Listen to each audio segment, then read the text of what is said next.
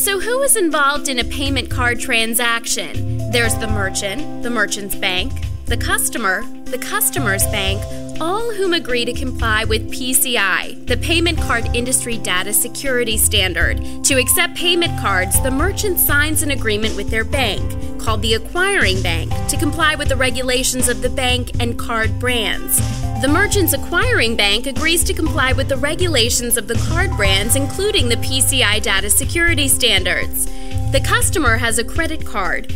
By signing the cardholder agreement, the customer agrees to comply with the regulations of the bank and the card's brands, including PCI. This bank is called an issuing bank because it issued the credit card. The issuing bank agrees to comply with the regulations of the card's brands, including PCI data security standards.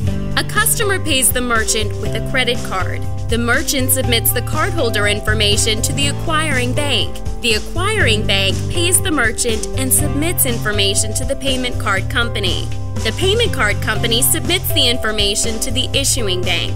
The issuing bank bills the cardholder. The cardholder pays the bill to the issuing bank. Your role as an employee of the merchant is to ensure the cardholder's credit and debit card information is treated in a manner that meets company and PCI security standards.